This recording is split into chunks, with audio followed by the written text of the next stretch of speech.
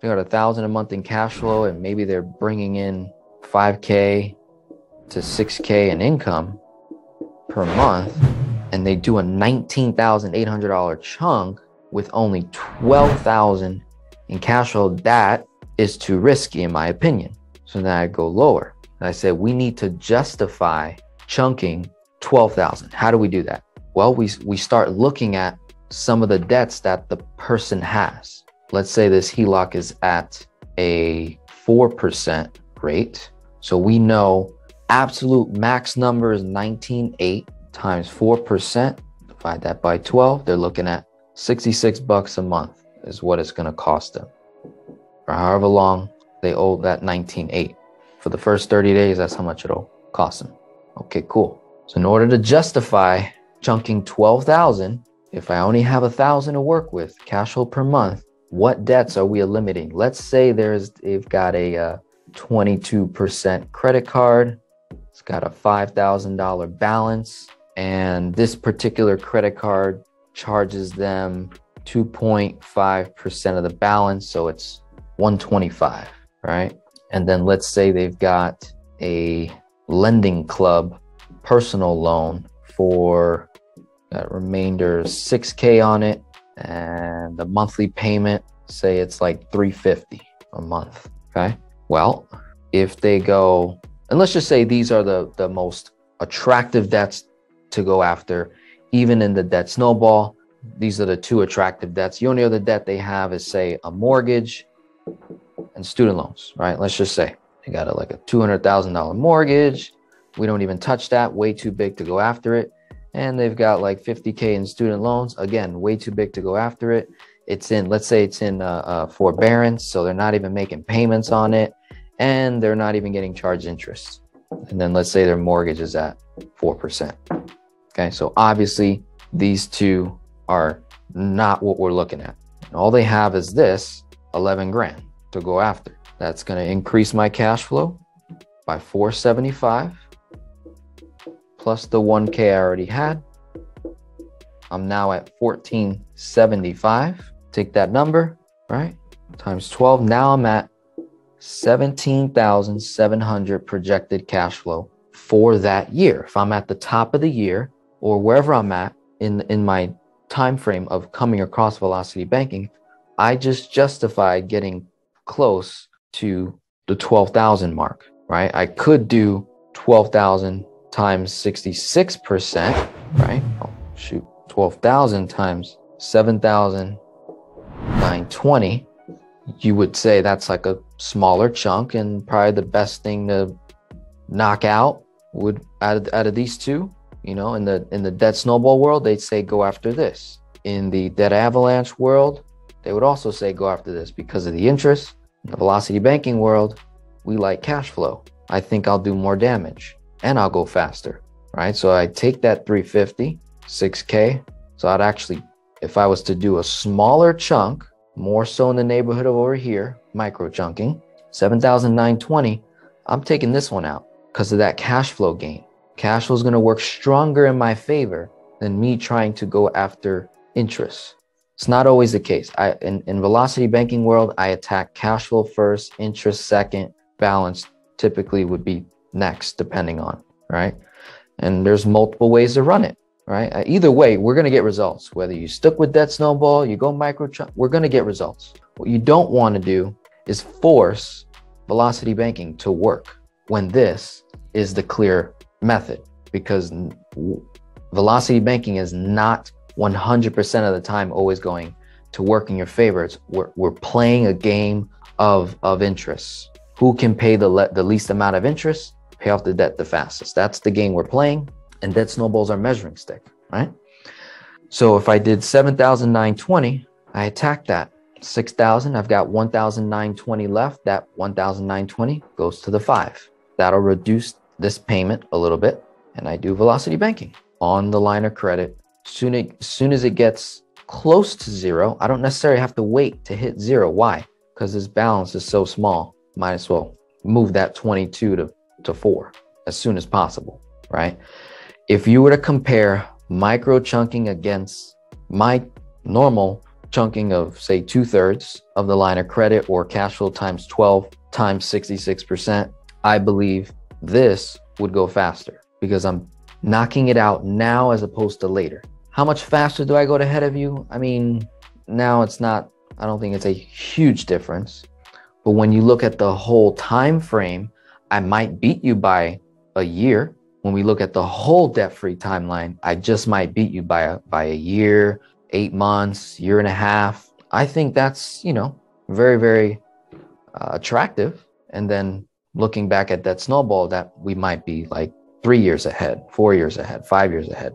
Just depends. So this is how my mind is working. Every single scenario I'm running with you guys, here's what's flowing through my mind. I'm evaluating the person first. I'm asking you questions. I'm getting to know you, where you're from, and your history with money, and just trying to get as much data as possible. And I say, all right, um, Joe, are you comfortable? You've got this 30K HELOC. If we use 66%, that wouldn't make sense for right now. That would be taking on too much risk. So we may not want to go after the golden rule of chunking 66%. I know you hear that on my channel often, but let's really evaluate that to see if that really makes sense.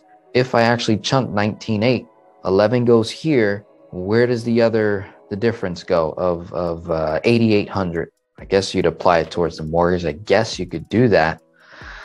Problem with that is you now have got you now still owe 19.8 on the on the HELOC. You increased your cash flow, yes, up to 17.7. It's going to take you more than a more than nine months to wipe this out, right? So my final, let me do a recap real quick. You've got micro chunking in your notes. That's one option. Two thirds method. I just look at my line of credit limit, times it by 66%. Boom, you get 19.8. You chunk that amount, right? That's one method. Before you do it, you want to justify it. How do you justify it? Look at your cash flow per month, times it by 12. What number do you get? If it's lower than 66% of your line of credit, you'll hear me say this in videos, if your cash flow times 12 is lower than 66% of your line of credit, then we just either chunk the full cash flow times 12 or less is one idea. Look how the numbers kind of came out with this quick example. I never got to the full 12. I got to 11. I justified it because of the cash flow gain and the interest savings. That's literally debt consolidation. I just consolidated 22%, 13% to 4. Don't think anybody would argue with that. That's 11,000 sitting over here. I'm going to now cash flow for the next 12 months, 17.7 roughly and I still have quite a bit of space in the HELOC in case anything goes down, emergency, in case life happens, I can dip into that, right? That's what makes this very uh, attractive and reduces my, my risk. So the final component of justifying your chunk is I prefer to have my chunks paid off in roughly six to nine months or less.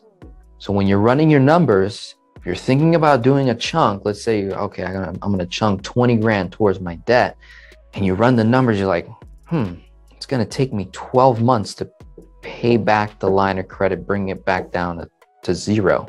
That may not be effective, and that might be taking on too much risk. We don't know what's going to happen in 12 months, but in the next six to nine months, I, I could I could project that. It's a little more realistic. I'm not looking too far out, and uh, the, the faster I pay down that line of credit, the, the lower my risk is as I'm getting these results. Okay, so six to nine months or less, preferably paying off the chunk in full or close to zero. Another way is at the point of when your debt tool has been completely offset by the savings. And then maybe if you coupled a credit card with it and your borrowing cost is basically nothing or it's like zero. Or at that point, you're actually making or earning more money because of the move you made. So six to nine months or less. If you get to 12 months and longer, I don't like it. Preferably, I would not chunk that high. Doesn't make sense. So there's a lot of different schools of thought in the velocity banking world. Like when you look at other uh, uh, channels, you know, one school of thought is very in favor of of this or even beyond that. You know, one school of thought, they'll say they look at all this debt and they'll say, okay, we're just going to replace this whole mortgage with a first position HELOC, right? And then what they make you do, of what I've heard from clients, is once this is done, they've they've uh, redirected this two hundred thousand dollar amortized four percent loan to say a lower or identical simple interest rate. Then they they want you to take these debts, move them into the HELOC and the student loan, move them into that first position HELOC instead of a first position mortgage.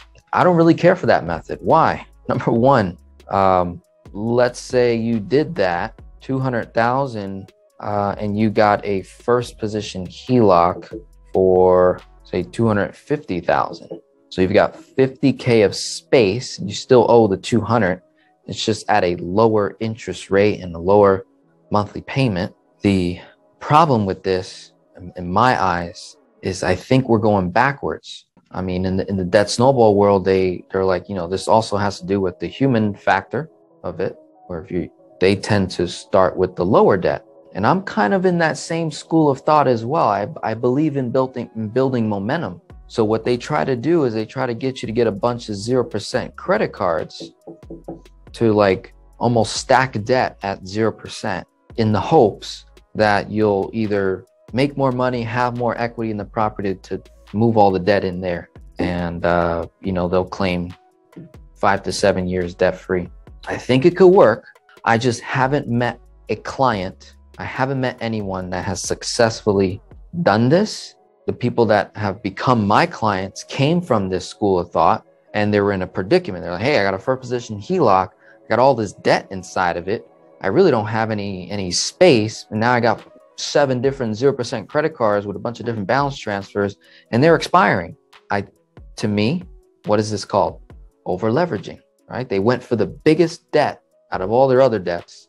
And I believe that is over leveraging. Not a fan of it. So, in this school of thought, we're measuring the general popular way of, of getting out of debt. We're measuring against our advanced strategy here. And we're also measuring it against our our own lives, like our, our risk levels, our cash flows, anything going on in the family. You got any vacations coming up, trips, birthdays, celebrations, big expenses coming up that might hinder you.